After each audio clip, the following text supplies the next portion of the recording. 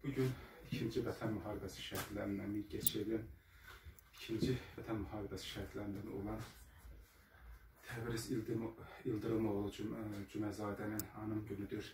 Düz bir il öncə onun nəşi Mingəçevir şəhətlər xərabanında dəfn edilib, əbədiyyətə uğurlanıb. Təbriz aləmin iki oğlan övladından biri olub, evin son beşiyi olub.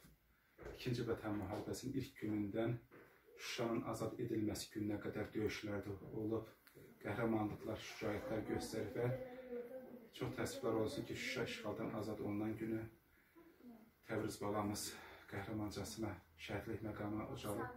Ancaq onun nəşi ayın 21-də tapılıb Şuşada və bir gün sonra ə, e, ayın 26-sında, noyabrın 26-sında Mingəçevir şəhidlər xiyabanında dəfn olunub. Dediyim kimi qeyd etdim ki, bugün onun anım günüdür. Bugün onun anım günündə şəhid bulağının, Baliyevinin, xatirə lövhəsinin və ev muzeyinin açılışı oldu. Çox izdihamlı bir açılışlar oldu. Çox izdihamlı bir anım mərasimi oldu. Mən şəhidim ruhu qarşısında baş əyirəm. Onun valideynləri, Yıldırım bəyin, Ülviyə xanımın qarşısında baş əyirəm. Onların əllərini öpürəm şəhidimizin məkanın cənnətlik olmasını, məqamının uca olmasını, dərgahının mübarək olmasını uca Allahdan, uca Tanrımızdan arzulayıram. Eyni zamanda da şəhidimizin ailəsinə səbir diləyirəm.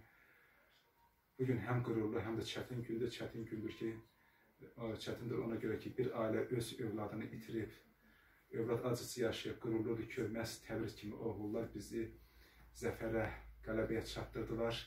Bunlar həm də qələbə, zəfər şəhidləridirlər daim yaşayacaqlar qəlblərimizdə, xatirələrimizdə yaşayacaqlar. Bir daha şəhidimizin ruhu qarşısında ehtiramla baş əyirəm. Eyni zamanda şəhidimizin valideynləri, tək qardaş qarşısında baş əyirəm. Onlara Allahdan səbir diləyirəm. Məkanın cənnətlik olsun. Təbriz balamız.